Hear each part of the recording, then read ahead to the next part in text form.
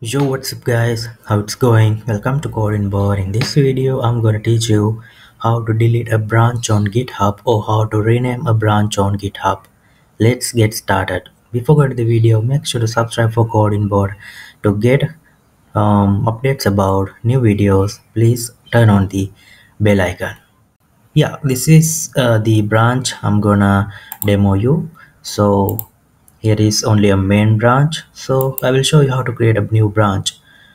Just click on this and find or create a branch in this section. I'm gonna give the new branch name and you can click on this create branch dev from main option.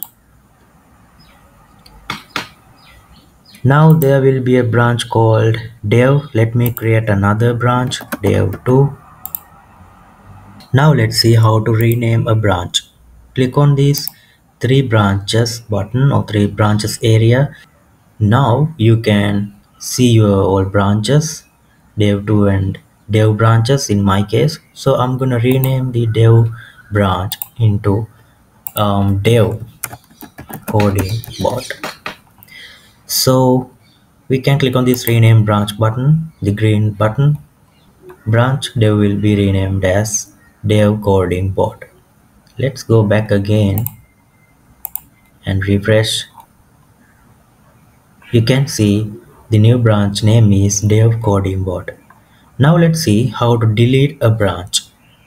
We can do that by in this section. Click on the delete icon or the dustbin icon which is in this bar uh, the branch you are going to delete. So i'm going to delete the dev2 branch click on this dustbin icon. It has been deleted. Let's go back again to our repository. And we have the main branch and dev coding import the renamed branch. And dev2 branch is not here anymore because we have deleted that. This is how we can delete or rename a branch on github. Thank you so much for watching. I will meet you soon in the next video